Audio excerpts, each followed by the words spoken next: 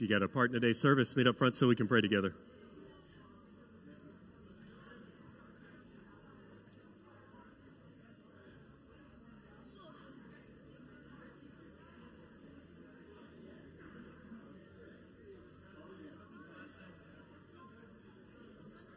See Ernie, there's Ivan.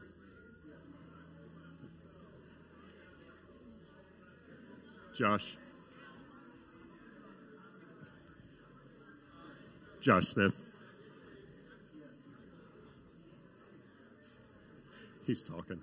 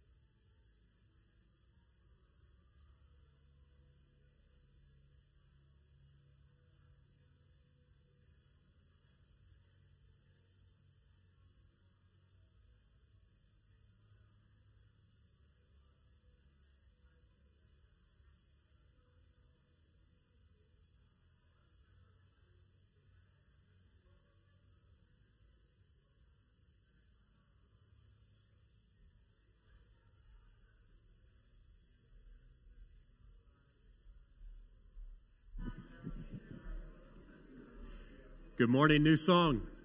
It's great to see you this morning. Welcome. Come on in, have a seat. If you're out in the hallway foyer still, welcome you to come on in. And as we begin our worship time in just a moment, I'm glad to see you today.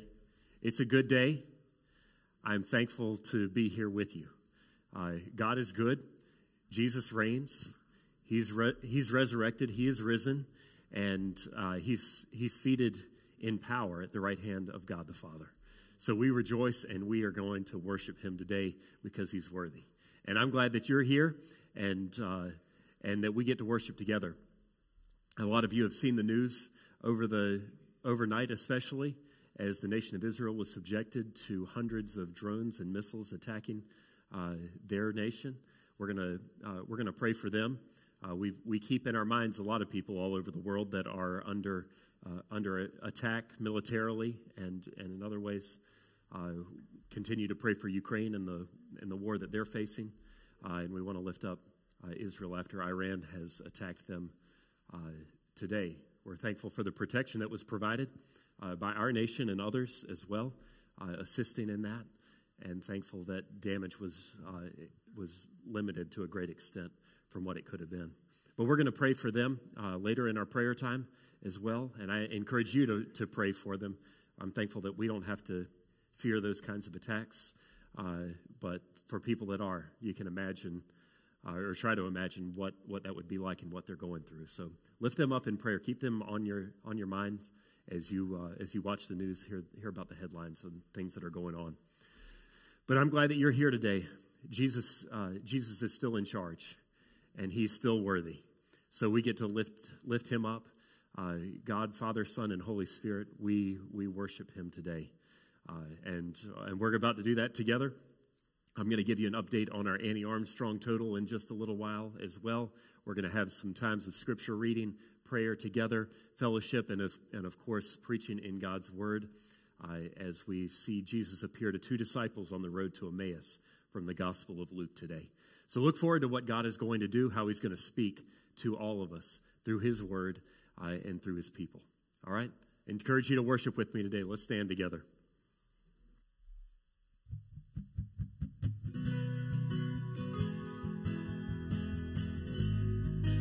All right, good morning, everybody. Let's worship.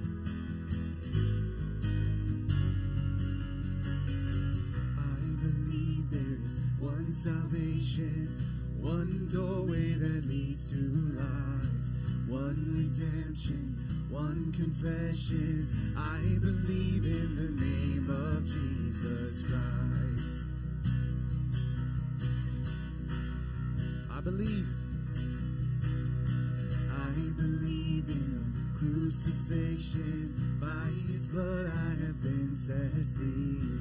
I believe in the resurrection. Hallelujah, his life is death's defeat. All praise, all praise to God the Father. All praise to Christ the Son. All praise to the Holy Spirit our God has overcome the King who was and is and evermore will be. In Jesus' mighty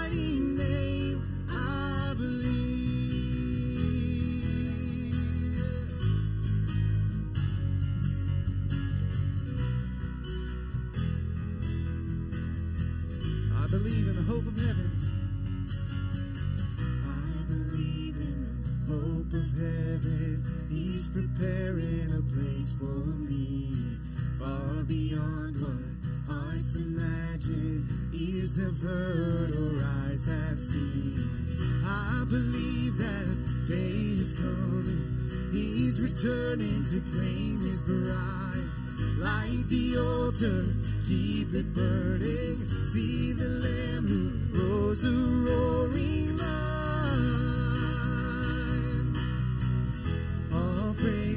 God the Father. All praise to Christ the Son. All praise to the Holy Spirit. Our God has overcome. The King who was and is and evermore will be. In Jesus' mighty name, I believe.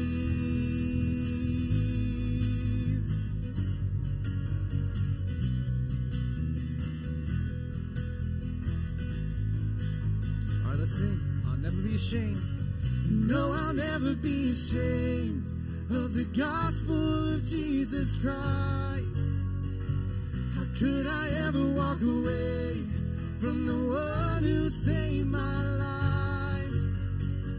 No, I'll never be ashamed of the gospel of Jesus Christ. How could I ever walk away from the one who saved my life? Of the gospel of Jesus Christ. How could I ever walk away from the one who saved my life? Yeah, all praise to God the Father. All praise to Christ the Son. All praise to the Holy Spirit our God has the King who was and is and evermore will be. In Jesus' mighty name, I believe. All praise, in all praise to God our Father. All praise to Christ the Son. All praise to the Holy Spirit our God has overcome. The King who was and is and evermore will be. In Jesus' mighty name, I believe. In Jesus' mighty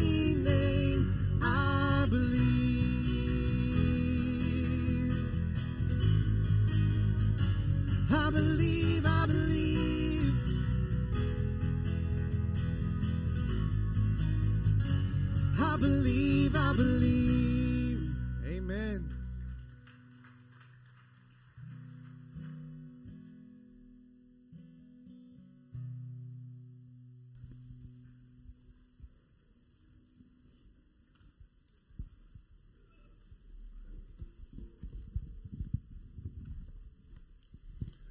Good morning, Esau.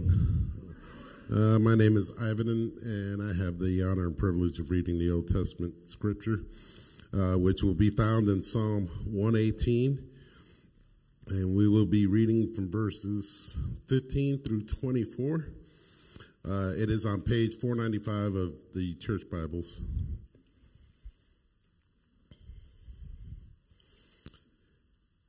Shouts of joy and victory resound in the tents of the righteous. The Lord's right hand has done mighty things.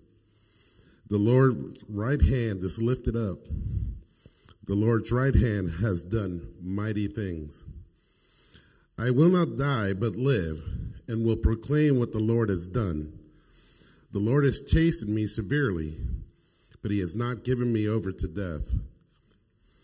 Open for me the gates of the righteous. I will enter and give thanks to the Lord. This is the gate of the Lord through which the righteous may enter. I will give you thanks, for you answered me. You have become my salvation. The stone the builders rejected has become the cornerstone, and the Lord has done this, and it is marvelous in our eyes. The Lord has done it this very day. Let us rejoice today and be glad. This is the word of the Lord.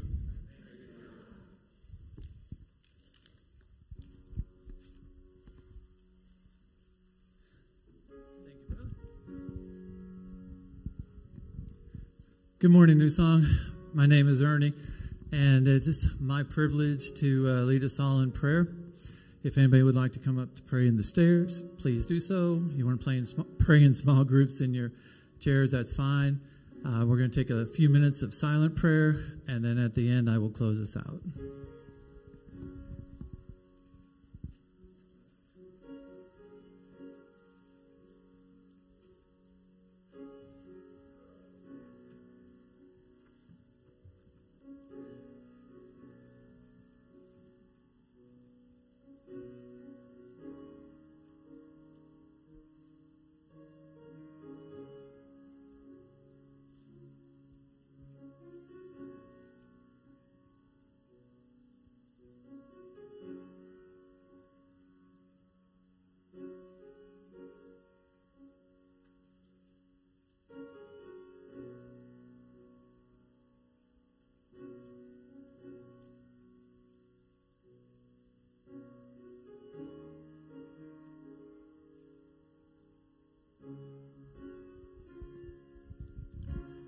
Dear Heavenly Father, we thank you today for so many blessings that you have upon this country.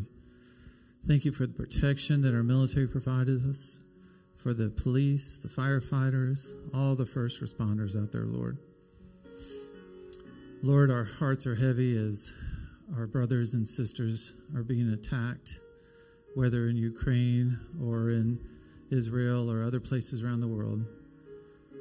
Lord, whatever weapons man comes up with, the power of prayer is much, much stronger. So, Lord, we lift up prayer protection around those. We lift up the, our nation in prayer. We pray individually for our families and for our friends. Lord, continue to bless this nation. Lift up our president and our leaders in this country. Pray, Lord, for peace in this country.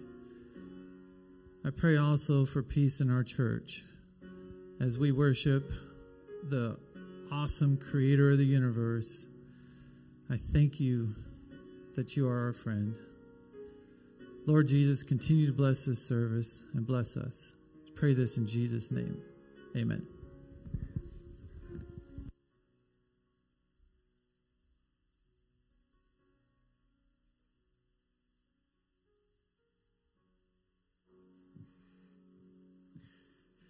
In just a moment, I want to dismiss kindergarten through third graders for Kids Church. We're about at that time. But before I do that, I want to give you an update on our Annie Armstrong Easter offering. Uh, this season, every year, our church takes up an offering to support the North American Mission Board and the work that they do. Our church goal this season has been $5,000. And I wanted to update you that as of this past Sunday, we have received $4,777 toward that goal. So I want to say a huge thank you and congratulations toward being so close to reaching our goal. There's still time to give. If you haven't given yet and would like to, please feel free to, to add just a little bit to that total, and maybe we will even uh, surpass it. But we, have done a great job and glad to be able to send those funds to the North, North American Mission Board very soon. So great job. Thank you guys very much for helping us with that. And now for Kids Church, I'm going to let our workers get a head start.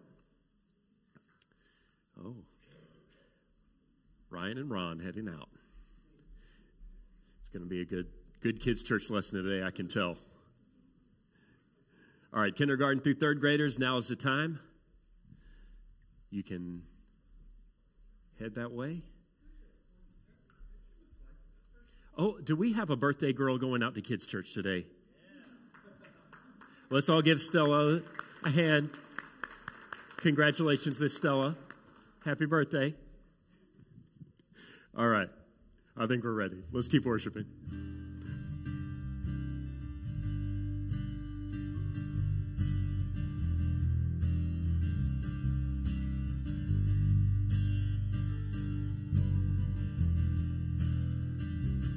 Church. We're going to sing See a Victory And that no weapon can be formed against us because we've got Jesus. Amen.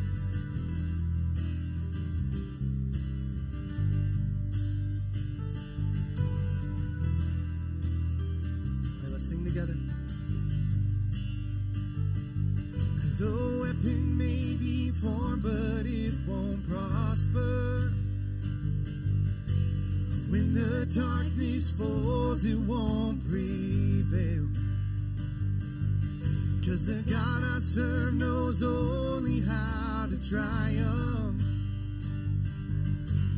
My God will never fail. My God will never fail. And I'm gonna see a victory. I'm gonna see a victory for the battle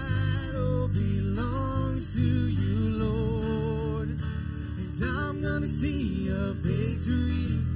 I'm gonna see a victory. For the battle belongs to you, Lord.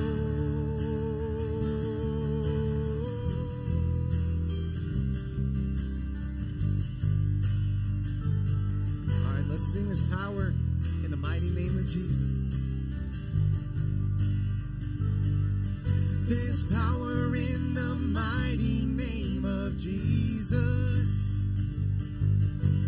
And every war he wages, he will win.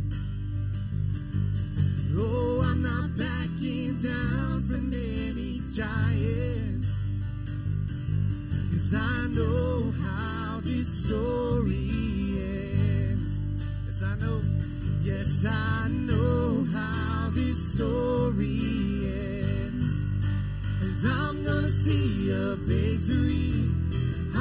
gonna see a victory. For the battle belongs to you, Lord. And I'm gonna see a victory. I'm gonna see a victory. For the battle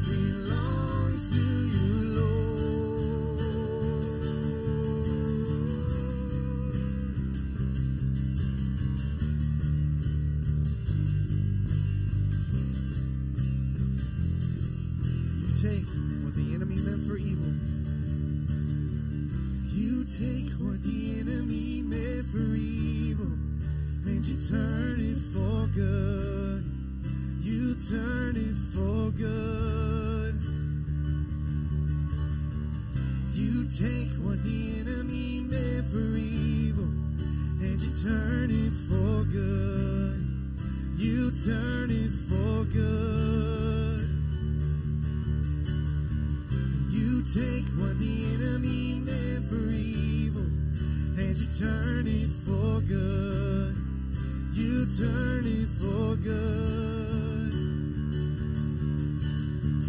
You take what the enemy meant for evil and you turn it for good.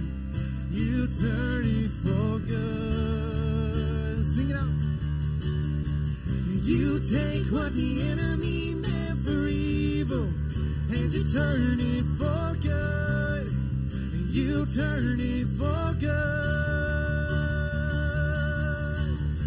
And you take what the enemy meant for evil and you turn it for good.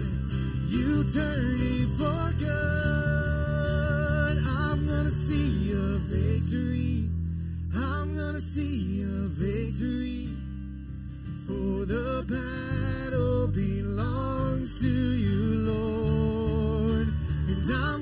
see a victory.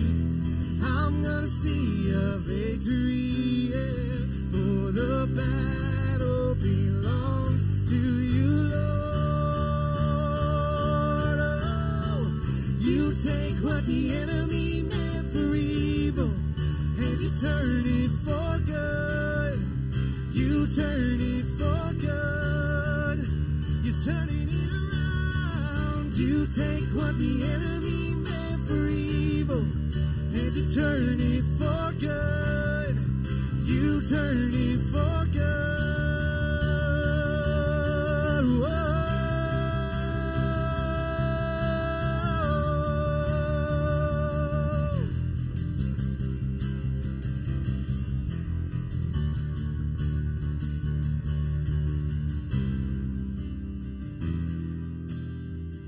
Amen. Let's give him praise this morning.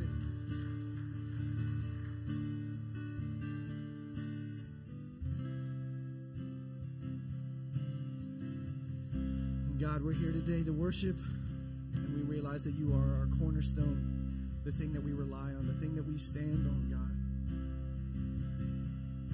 You are the truth, the way, and the life. And God, we give you praise this morning. We lift our hands, we raise our voices in worship to you.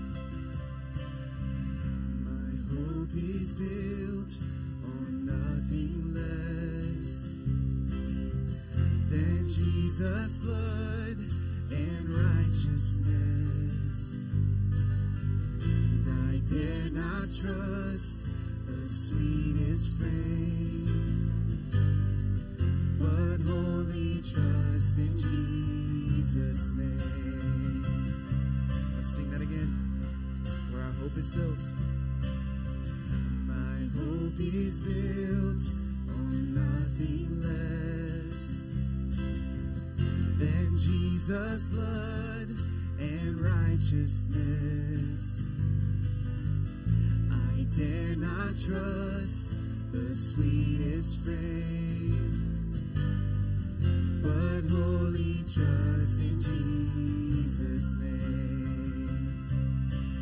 Christ alone. Christ alone, cornerstone, the weak made strong in the Savior's love.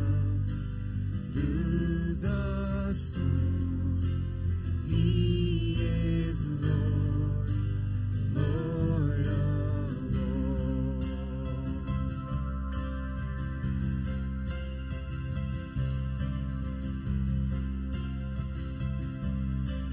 seems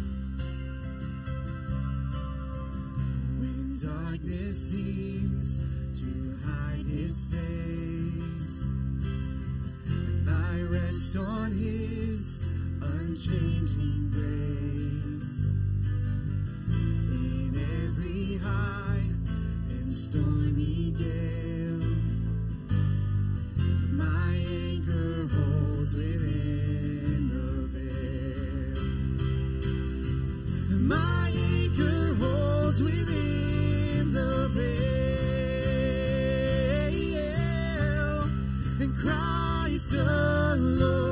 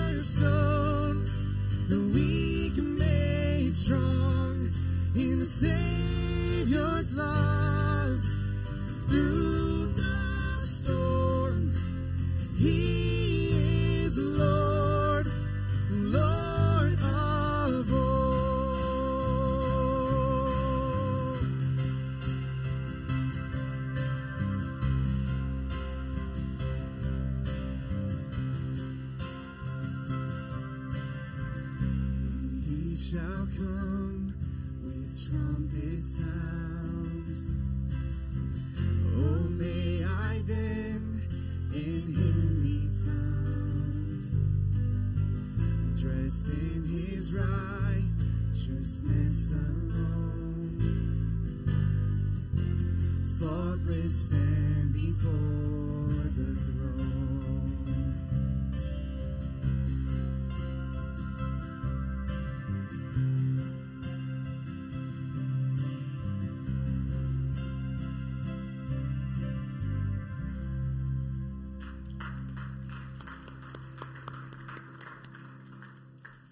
Amen. Thank you. You can be seated. Told you you were going to have to do it. All right, back it up, back it I up, it always up. forget when there's some somebody else is supposed to go first. I told him to push me off the stage, but he's too nice. The other option is he does the reading and I do the sermon. No, we don't want that. We don't want that. So, good morning, New Song. It's a pleasure to be with you guys today. Our New Testament readings coming from Second, First Corinthians, uh, fifteen uh, verses fourteen through twenty-six. If you have your Bibles, you can follow with me. I don't have a church Bible with me, so you have to figure out the page yourself. But it's right before Second Corinthians. You'll find it. 1 Corinthians 15, 14 through 26. And if Christ has not been raised, then our preaching is in vain and your faith is in vain. We are even found to be misrepresenting God because we testified about God that he raised Christ, whom he did not raise, if it is true that the dead are not raised. For if the dead are not raised, not even Christ has been raised. And if Christ has not been raised, your faith is futile and you are still in your sins. Then those also who have fallen asleep in Christ have perished. If in Christ we have hope in this life only, we are of all people most to be pitied. But, in fact, Christ has been raised from the dead, the firstfruits of those who have fallen asleep. For as by a man came death, by a man has come also the resurrection of the dead. For as in Adam all die, so also in Christ shall all be made alive but each in his own order. Christ the firstfruits, then at his coming, those who belong to Christ. Then comes the end, when he delivers the kingdom to God the Father after destroying every rule and every authority and power. For he must reign until he has put all his enemies under his feet. And the last enemy to be destroyed is death. This is the word of the Lord.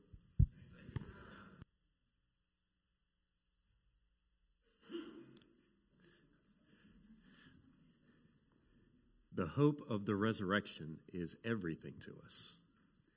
I love the passage from 1 Corinthians 15, where it says, If Jesus hasn't been raised, then we are still in our sins. We have no hope. We are more to be pitied than all men. But if Christ has been raised, then he has defeated every enemy. And one day he will put a final a final defeat on the last enemy, enemy to be defeated, which is death. And we can look forward to that day in confidence that because Jesus came out of the tomb, that that victory is all but accomplished. I invite you to open up to me, open up with me to Luke chapter 24. Luke chapter 24, we're continuing our series called Risen on the appearances of Jesus after his resurrection. Last week, we saw the very first appearance of the risen Christ to Mary Magdalene in the garden after she returned a second time. Today, we're going to see Jesus appear to two disciples, only one of whom we know the name, and we don't know much about him at that. But two disciples as they walk on the road to Emmaus, small village about seven miles from Jerusalem.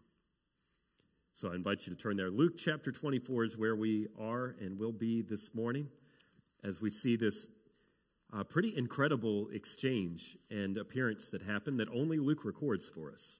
We have to go to Luke's gospel to, to read about this, to hear about it.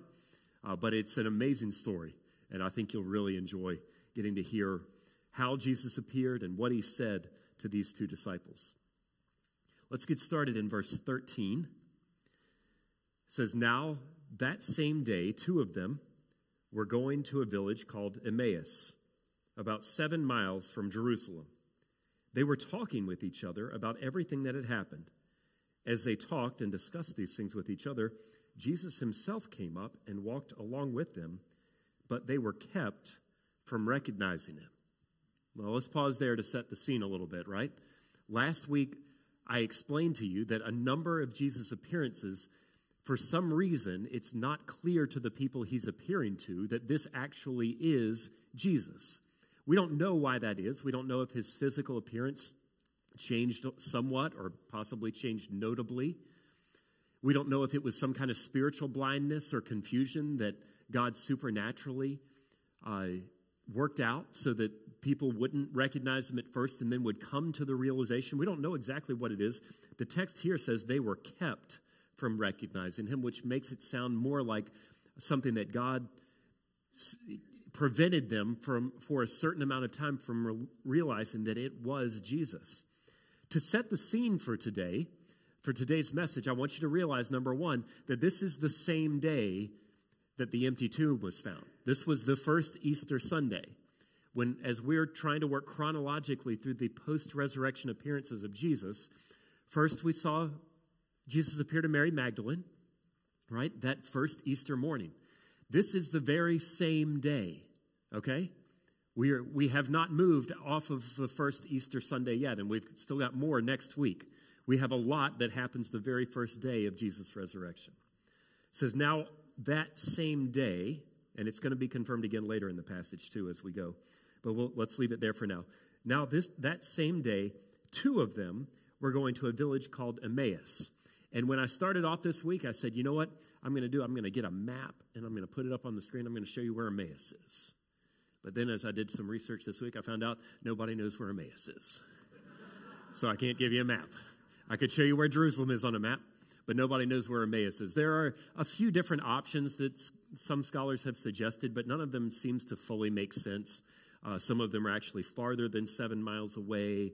Some of them would be half the distance. So the suggestion is, well, maybe it was the seven miles was the round trip instead of the seven mile distance. The reality is that we're, we're just not sure. There are a lot of very small villages that were just lost archaeologically to history, and we don't know exactly where they were, what the names were, those kinds of things. So, small town or village called Emmaus that was about seven miles from Jerusalem, and this is where they were traveling. They were probably from Emmaus and had traveled to Jerusalem for the Passover, and then were uh, had seen all of the events surrounding Jesus' crucifixion and resurrection, and now they were returning. And as they return, they're talking with each other. So, who are these two disciples?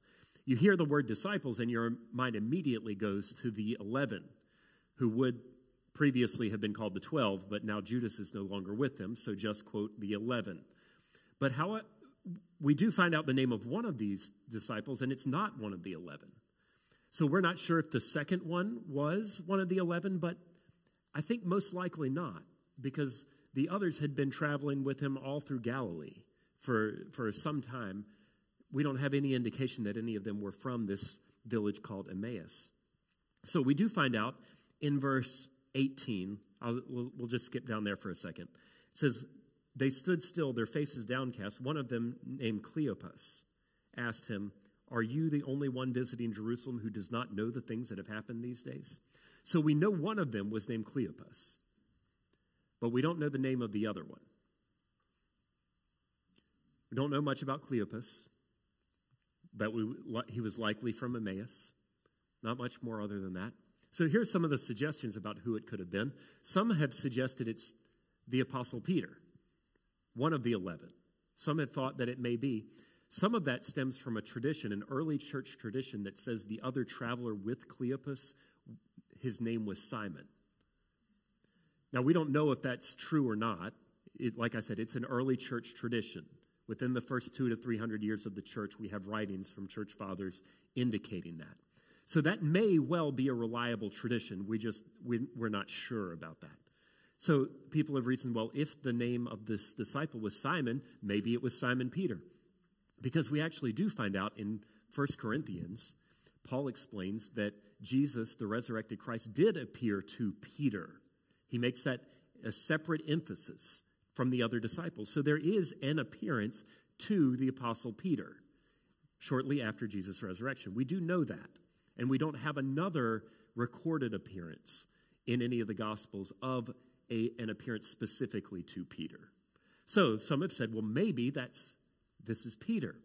But then others have thought that that doesn't really make much sense because the 11 seem to still be in Jerusalem and then they return and they find out they find out upon their return that Jesus has appeared to Peter at that point. So that doesn't exactly seem to fit. So if it's not Peter, then who are some other options? Well, some have suggested that Cleopas had a friend who was traveling with him, or possibly his son was named Simon. There is also an early church tradition that names Cleopas' son as Simon. And uh, so people have said, well, maybe that's who was traveling with him. If the, if the other tradition, saying it was Simon, was him, others have said maybe it was Cleopas' wife. Maybe they had traveled together to Jerusalem. Maybe they were traveling away now. You know, all the other suggestions are men, and some of it having to do with that tradition about it being Simon and everything, but it nowhere tells us that it's two men. It says two disciples. Could be Cleopas and his wife. Could be. Reality is we just don't know. We don't know exactly where Emmaus is. We don't know exactly who was traveling with Cleopas, but we do know that this is the same day that Jesus resurrected and the empty tomb was found. So, as they travel this seven miles to Emmaus. They're talking about everything that's happened. There's still a lot of confusion about what's going on, right? Last week we saw that there was a ton of confusion until Jesus appeared for Mary Magdalene, right? She continued to think somebody had taken the body away. Even to Jesus himself, thinking it was the gardener, she said, Tell me where you've put him and I'll, I'll, I'll get his body, right? And then he says, Mary. So she is, is seriously confused. Everybody is still very confused at this point. They're trying to make sense of this.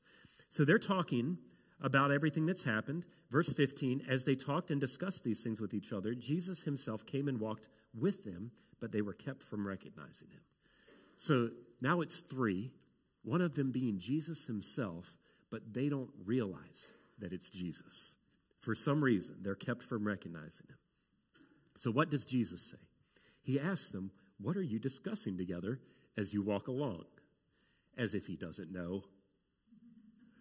You know, like God asks questions to people sometimes in the Bible. Jesus asks questions. Like you already know the answer. What are you asking for? You know everything, right? God is omniscient. He is all knowing, past, present, future. He knows all things. He doesn't have to ask you what you're going to do tomorrow. He knows. But sometimes, as a matter of conversation, he, he asks people questions. Sometimes he uses questions as a teaching method. And that, that may be along the lines of what he's doing today. What are you discussing together as you walk along? They stood still, their faces downcast. One of them, named Cleopas, asked him, Are you the only one visiting Jerusalem who does not know the things that have happened there in these days? So obviously they are confused. They realize that everyone is talking about what's happened. What things? He asked. About Jesus of Nazareth, they replied. He was a prophet, powerful in word and deed before God and all the people. The chief priests and our rulers handed him over to be sentenced to death, and they crucified him. But we had hoped that he was the one who was going to redeem Israel. And what is more, it is the third day since all this took place. In addition, some of our women amazed us. They went to the tomb early this morning, but didn't find his body. They came and told us that they had seen a vision of angels who said he was alive. Then some of our companions went to the tomb and found it just as the women had said, but they did not see Jesus. Let's pause there for a minute as we sit in their explanation of what's going on, because here we get a picture of the mindset of the disciples after Jesus has been crucified and they don't know yet that he's been resurrected. First thing that I want you to notice is how they describe Jesus. He says, About Jesus of Nazareth, they replied, He was a prophet, powerful, powerful in word and deed before God and all the people. In some ways, that may seem like a disappointment, right? Like Jesus is more than a prophet, right? Jesus is the Son of God. Like there were plenty of prophets before Jesus. Even John the Baptist was a prophet in the mold of the Old Testament prophets. Like there have been prophets. So to say that Jesus was a prophet seems at first like a disappointment, but they don't really mean it that way, okay? I want you to, we just preached through the book of Mark, right? So we're, we don't have the foundation that uh, in the Gospel of Luke that we would if we were reading out of Mark and using his language. But I, w- I want you to take my word for it or get out your Bible software when you get home and do a search for the word prophet in the Gospel of Luke. Is that Luke has actually emphasized Jesus as a prophet, uh, being seen by the people as a prophet, and even confirming himself that he is a prophet. In fact, if you go back to the Old Testament in the book of Deuteronomy, there's a promise and a prophecy that a key prophet, the prophet, would come one day to the nation of Israel.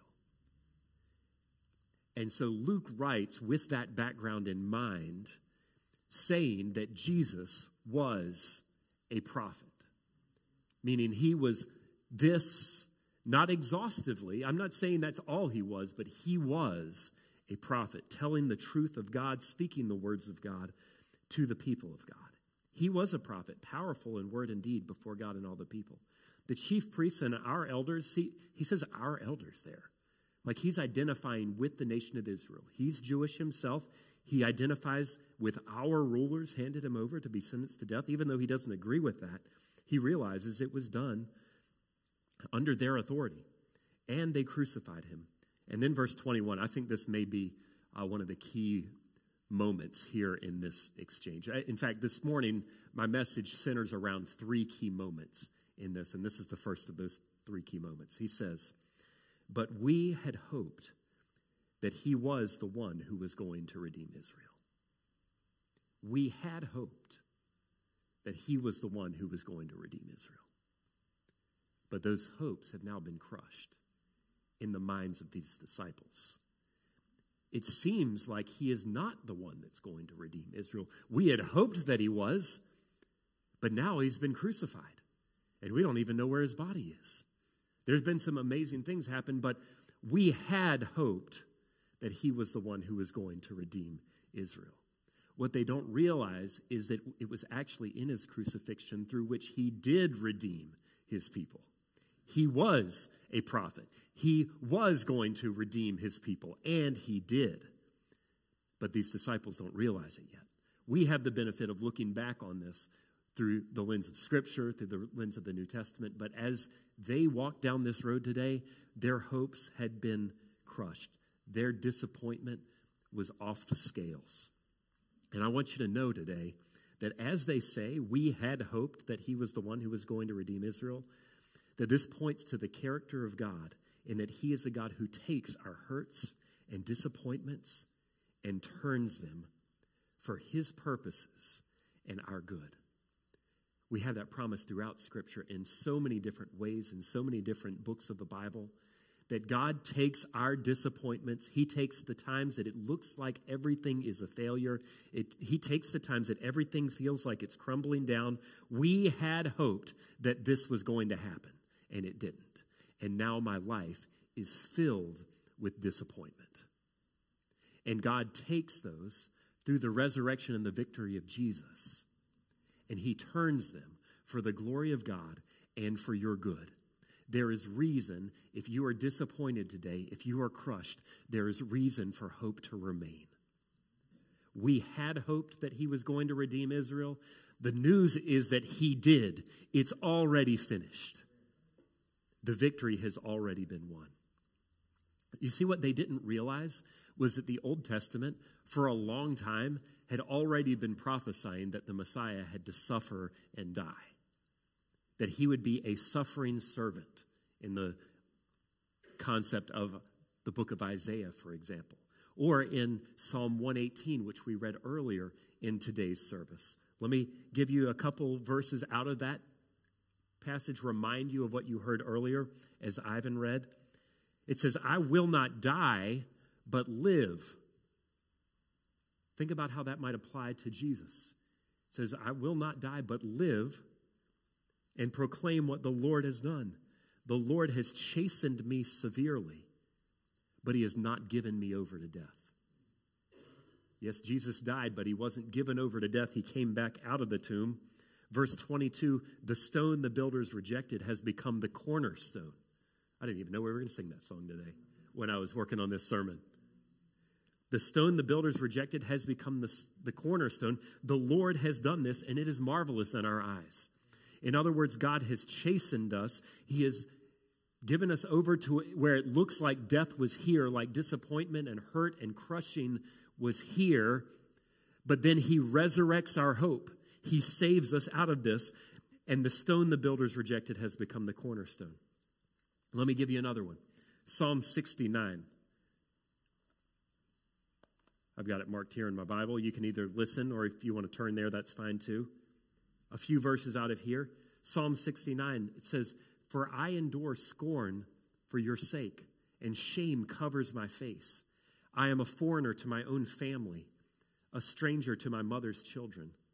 A zeal for your house consumes me. You remember Jesus quoted that and was that verse was fulfilled in him, a zeal for your house when he cleared the temple.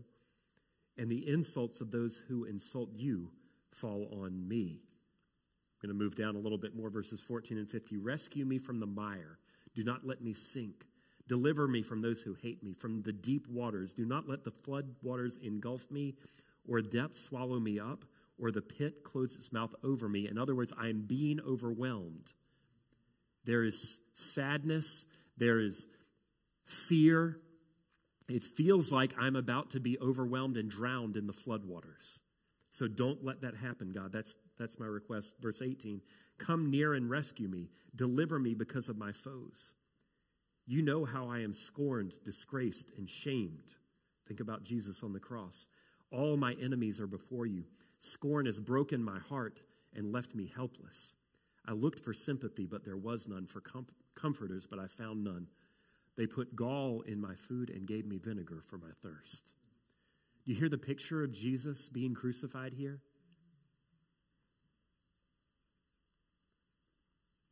And they had all of this for hundreds of years before Jesus came. Let me give you one more Isaiah chapter 53 Surely he took up our pain and bore our suffering. Yet we considered him punished by God, stricken by him, and afflicted. But he was pierced for our transgressions, he was crushed for our iniquities. The punishment that brought us peace was upon him, and by his wounds we are healed. We all, like, street, like sheep, have gone astray. Each of us has turned to our own way, and the Lord has laid on him the iniquity of us all. The nation of Israel had these prophecies, they had these scriptures, but they didn't realize that the Messiah, when he came, he wasn't just going to go straight and sit on a throne.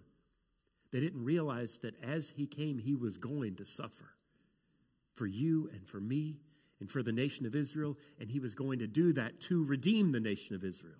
It was through his sufferings that their redemption would happen. It wasn't through his exaltation immediately that it would happen. It was through his sufferings that they would be redeemed. So they were looking for the wrong thing. That's why they had hoped he was the one who was going to redeem Israel, but now their hopes are crushed. So, what happens after that? Verse 25. Back to the Gospel of Luke now. Verse 25. He said to them, How foolish you are, and how slow to believe all the prophets have spoken. Right? Because Jesus is remembering all these verses and more that I just gave to you. He knows all of this, and he says, Why are you guys missing this? It's been right in front of you for so long. You could have known, you could have expected. And he, Jesus even knows, I even told you, we're going to Jerusalem. The chief priests, they're going to crucify the Son of Man. They, he told them again. And they still didn't get it. How foolish you are, and how slow to believe all the prophets have spoken. Did, the, did not the Messiah have to suffer these things and then enter his glory? In verse 27, here's the next key moment of today's passage. Verse 27. And beginning with Moses and all the prophets, he explained to them what was said in all the scriptures concerning himself. In other words, Jesus takes the Old Testament from beginning to end, and as they walk along the road to Emmaus, he explains here's what was pointing to me, and here's what was pointing to me, and here's what was pointing to me. Story after story that all point to Jesus. Sometimes you take your Bible and you open up to read and you turn to some of these Old Testament passages and you're like, I don't understand this. This seems really detached and far away from me. The culture is different, the customs are different, the names are really strange. I don't know how to pronounce these. And it seems hard to make a connection at times. I understand that. But I want you to know that the Old Testament is an entire story that's written to tell you about Jesus coming before he arrives. I can imagine what Jesus might have said to them. Obviously, I don't know this. This is my, my idea of what Jesus might have told them. But I think he might have told them of the promise from early in Genesis of how the seed of the woman would crush the head of the serpent. And then he would tell them how the Messiah was the one that was going to rescue out of the flood of God's judgment. And then he was going to show them how Abram took his son up to sacrifice him at God's command, but instead, God replaced the sacrifice of Abram's son Isaac with a ram that was caught in a bush. And then he was going to tell him about Moses and how Moses led the first exodus, but the Son of Man was going to come and lead a second exodus out of captivity to sin and into victory, into a new promised land, just like Joshua had. He was going to talk about Israel's desire for a king and how the Son of Man was going to fulfill Israel's desire for a king, but he was going to be far greater than any earthly king that Israel had ever seen. You read the stories in 1st, 2nd Kings and Chronicles, and what you read about is failure after failure after failure, and king after king after king. And once in a while, you'll find one that does some good stuff, but even they fail and have flaws. But Jesus is going to fulfill every hope that Israel had for the perfect king who would lead the perfect nation, a kingdom of priests to our God. He explained to them how he was the greatest prophet. He explained how he fulfills the Old Testament temple. He explained how the Old Testament looks forward to the life of the Messiah. And it points to a, a Messiah who is suffering for his people. So here's what you have in the Old Testament, okay? As you read your Bible, the Old Testament is looking forward to Jesus. And then you get to a point after Malachi and the beginning of Matthew where you get to the New Testament in your Bibles. Now, the, these two disciples didn't have the New Testament yet, but we do. And as you read your New Testament, I want you to realize that it is looking back and reflecting on the birth, life, death, burial, resurrection, and ascension of Jesus. So the Old Testament is looking forward to Jesus. The New Testament is looking back on his life, and at the center of it all, you have Jesus himself, the center of all God's revelation to us. His very character is shown to us in Christ. His plan of redemption is shown to us in Christ, and it's confirmed in Christ, and it's, and it's fulfilled and completed in Christ. Both Old Testament and New Testament looking back at Jesus. So I think this is the kind of thing that Jesus is explaining to them right then. He's explaining to them a theological reading of the Bible. How do you, when you see weird stories about Abram going up on a mountain with his son and taking a knife, and then a, God speaking to him and, and telling him not to sacrifice his son, that he would provide a sacrifice instead. You, you can see that story, and it's confusing. Why would God tell Abram to do that in the first place? You know, scary, suspenseful, and then resolved as God provides the sacrifice. You see that all of this is training our minds to see patterns in the way that God works for his people and who Jesus is. So, beginning with Moses and all the prophets, he explained to them what was said in all the scriptures concerning himself. We are amazingly blessed that we can walk down to the corner store and buy a copy of God's Word to open up and read for ourselves. You realize for most of his, human history that has not been the case. For a long time, you had to have super expensive scrolls or books were handwritten and inaccessible to anybody but the most wealthy people. You even get to a lot of times in the history of the church before the printing press was invented, where even the individual church leaders themselves didn't have a copy of the Bible to teach from. And now, through modern technology, what, when I'm talking about this, I mean the printing press is modern technology. Obviously, we have a lot newer technology than that even now. You can look at it on your smartphone and everything. But how blessed we are that you have a copy for yourself of God's inspired word. He has given this to us, and we are so privileged that we can open up these pages and learn for ourselves about who Jesus is. The Holy Spirit will speak through God's word to you as you read this book. It's absolutely incredible. But you'll read it the wrong way if you don't read that it's about Jesus. It's helping you to know Him. And that's the point. The Holy Spirit enlightens us, reveals Him to us through the pages of this inspired, infallible, inerrant book that we have access to. And the purpose of it is so that you can know the resurrected Christ.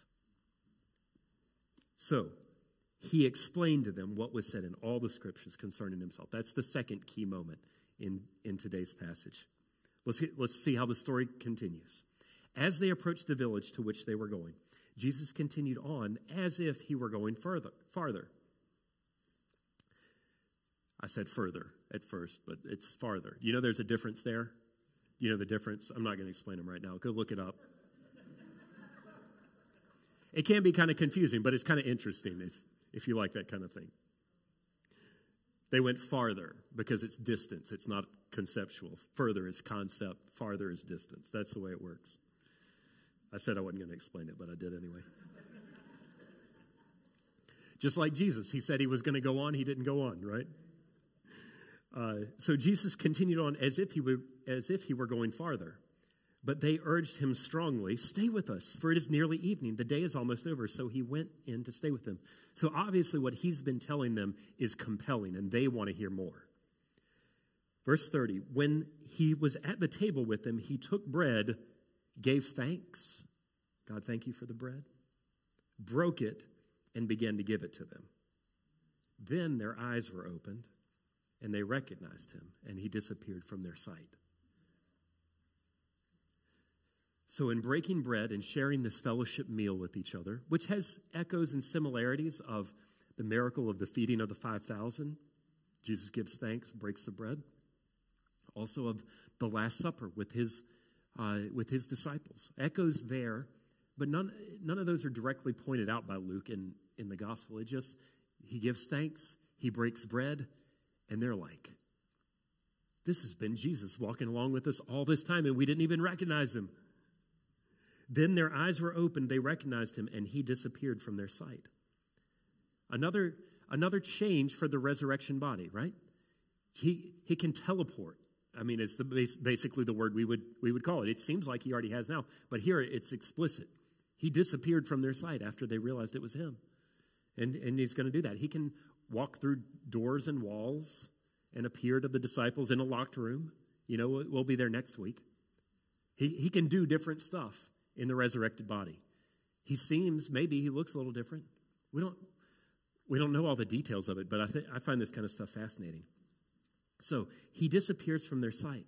And then here's the next key moment, the third key moment of today's message. Verse 32 They asked each other, Were not our hearts burning within us while he talked with us on the road and opened the scriptures to us? They were like, We should have known all along.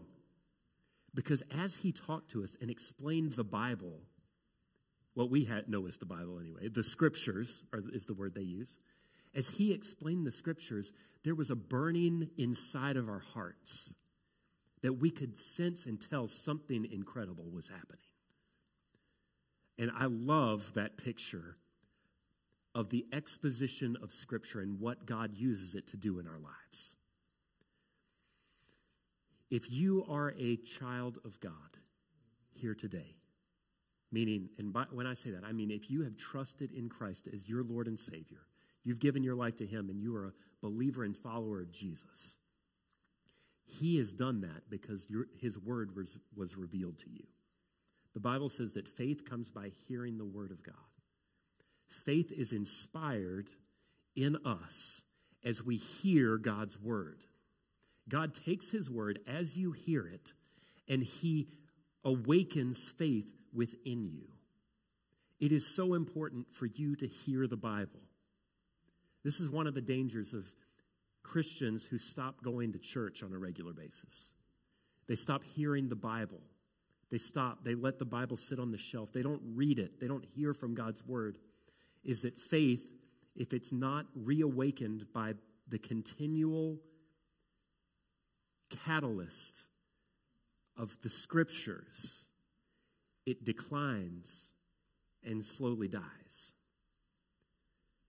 But when we hear the Word of God, which is one of the reasons that we put such a priority in our church tradition on preaching and hearing God's word. Because that is what God takes and uses in our lives to awaken us, to set our hearts on fire about the goodness of God and the, the fullness of the gospel and the hope that we have in Jesus. And you can imagine if you've been six months without being in church and hearing about that, you might hear the name Jesus and you think, oh, yeah, I believe in him. I, I agree with all that stuff. But maybe your heart doesn't explode in joy and worship because of him. But then when you've gathered with God's people and you've sang songs about Christ alone, cornerstone, weak made strong in his Savior's love, and that I believe in Father, Son, and Holy Spirit, and the crucifixion whereby I was saved, when, when you've been with God's people and you're reminding yourself of that and you're hearing the Gospel of Mark and sermons about the resurrection appearances of Jesus, and you remember, and then you hear about Jesus, and suddenly your heart warms and your, your eyes get wide, and your hope is felt in a tangible way because of Jesus in His Word. Were not our hearts burning within us when he talked about us on the road and opened the scriptures to us? I hope that you get at least a small feeling of that as you sit in church and hear God's word preached. You know, I feel like that's part of my job as, as pastors to, is to help facilitate that happen. I want to give you compelling messages from God's word. Like, I know preaching can be boring. I don't I want to not bore you with this, okay? You you can sit through a sermon that's too long or not very exciting, and you can halfway fall asleep or maybe fully fall asleep. I see some of you out there.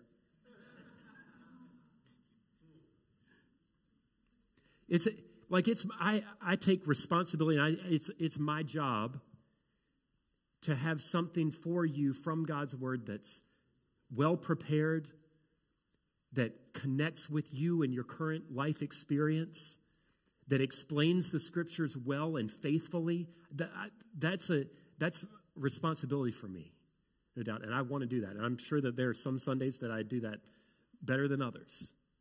And I'm thankful that y'all put up with the ones that it's not as good, okay? But as I preach, as you hear scripture read from our church members, I hope that you listen and engage well enough so that God can take that in your life and awaken faith in you so that your heart is set on fire for Jesus.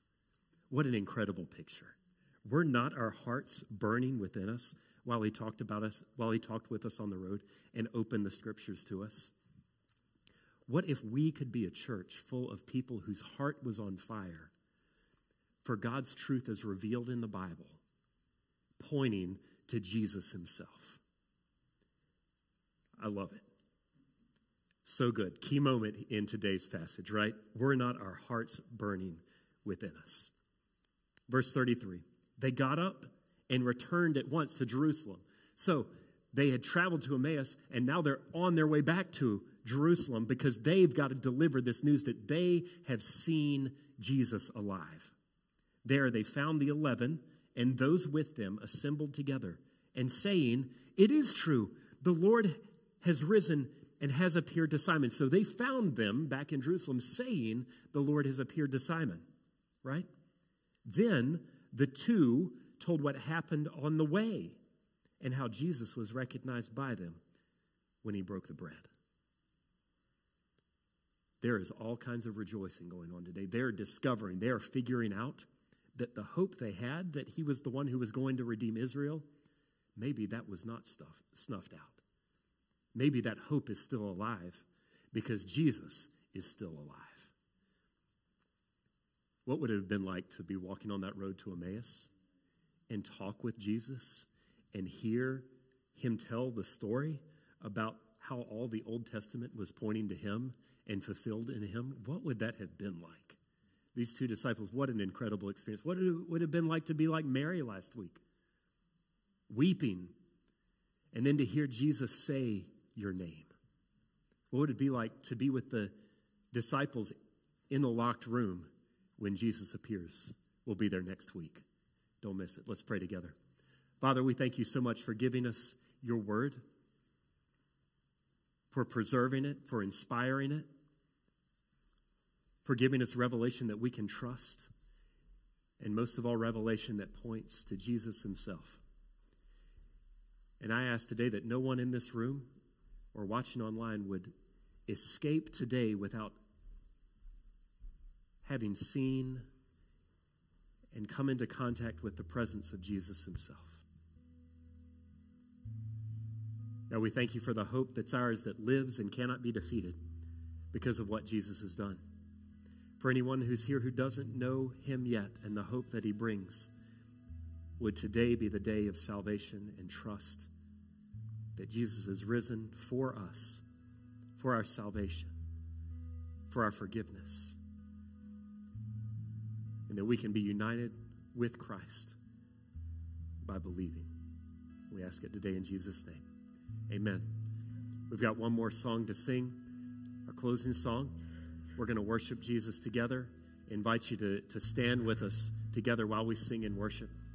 If there's anyone today who needs to know how to give their life to Jesus for the first time, or needs to rededicate their life, or needs to just have someone pray for them, we will have some of our church leaders standing in the back. Come back and speak to us during this time. You're welcome to do that. The rest of us, let's worship together and sing the praises of Christ who's worthy.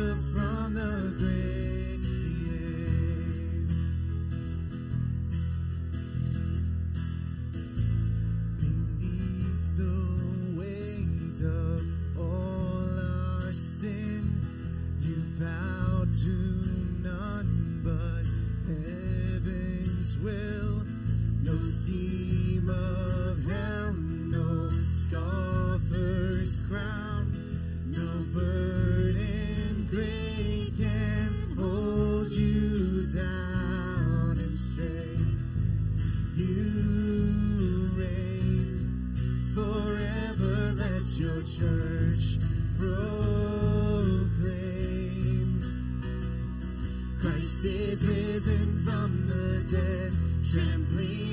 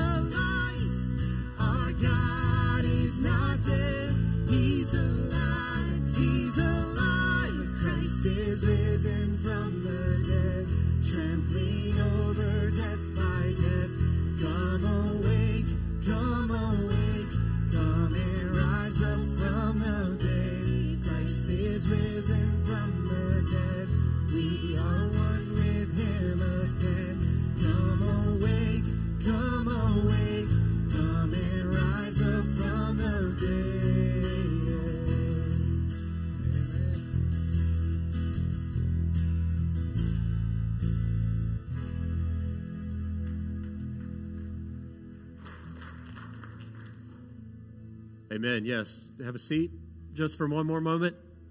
Thanks to Shane, Amy, our band for leading us today. Before we head out today, let me give you just a couple of announcements before you go so that you know what's going on. First of all, one week from today, pretty big Sunday for us. We have a couple different things going on. So, th- this coming Sunday, uh, April 21st, we are starting a new series in our small groups. Uh, so, we have a number of options for you that you see on the screen Growing in Christ. Uh, in room five, and young adults are also doing that study. Uh, Romans chapters eight and nine, exegetical study in room four with uh, Bert Hickman, uh, Greg Edwards leading the Go- Growing in Christ, and Sarah Hobbs leading the young adults. Uh, then uh, in room two, the women's study, Women of Worth, doing uh, being an authentic church. And then in the fellowship hall, The Invisible War, which is a study on spiritual warfare. I've heard a lot of people excited about that one too. So you are free to continue on in the current small group that you're in, or if you want to shift around and try something new, you're welcome to do that as well. But those are all starting together next Sunday.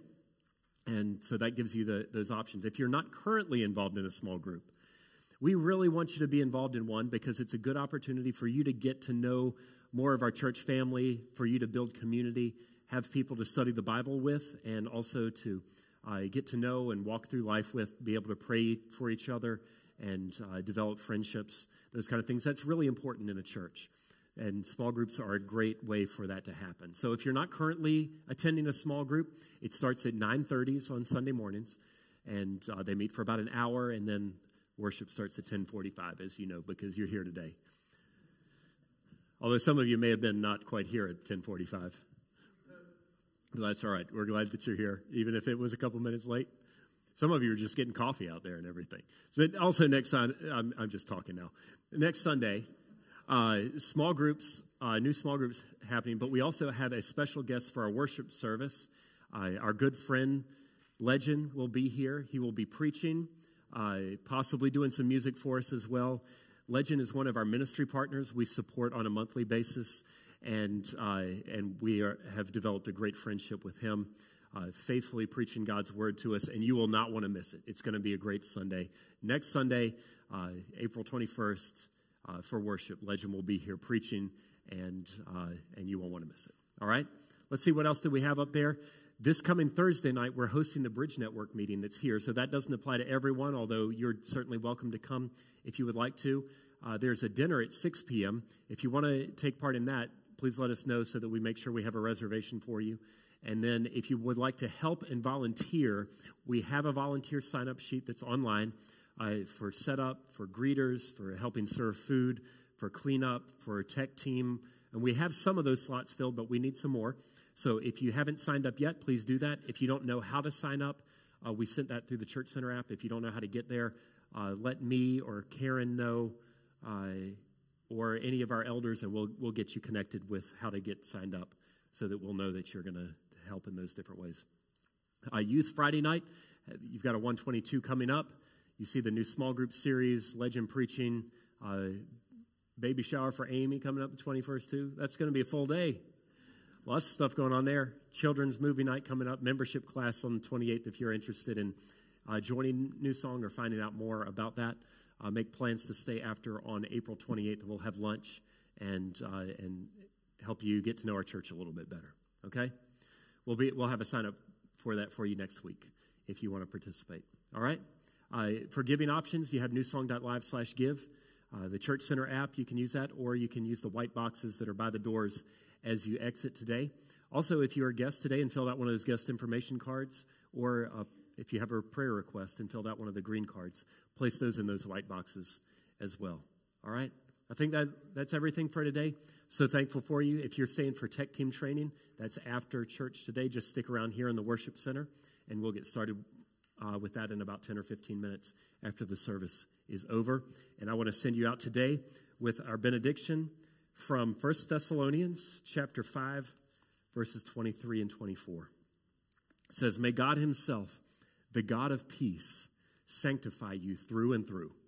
May your whole spirit, soul, and body be kept blameless at the coming of our Lord Jesus Christ. The one who calls you is faithful, and he will do it. The grace of our Lord be with you. Amen.